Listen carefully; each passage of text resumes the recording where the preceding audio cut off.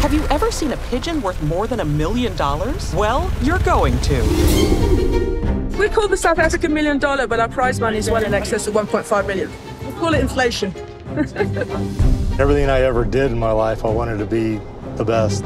Winning the million dollar race, put the icing on the cake. I have two kids and 60 pigeons. We treat pigeons from 200,000, 300,000, half a million. That's really very nice. The sport is getting more and more professional and more and more worldwide. Big payouts brings in richer people. Already invested over a million euros in pigeons. People started to pay 300,000, 400,000. I think it's just horrendous. It's crazy how the market's going. It's insane. The most expensive bird ever sold. $1.4 million. Now you have five multi-million dollar races around the world.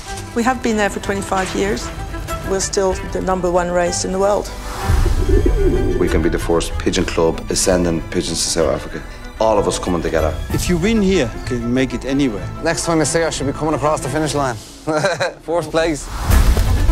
Million dollar race was the biggest in the world, but it's not turning out like we thought it would.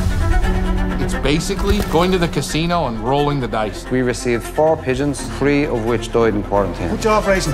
Obviously, today was not what we would have wanted in a perfect world. They really made a misjudgment, in my opinion. They should have called me. They have speculations where they think she's at. Where's all the money gone? Where's it gone? We lost everything.